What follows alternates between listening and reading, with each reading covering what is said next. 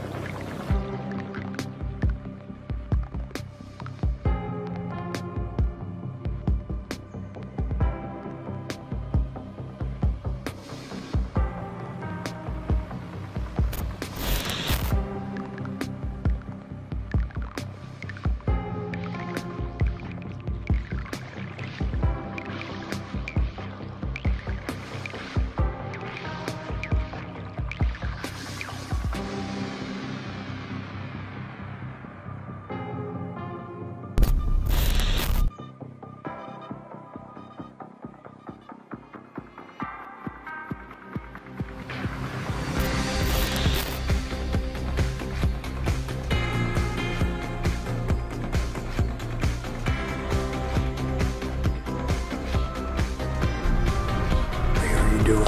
I'm hacking the FBI.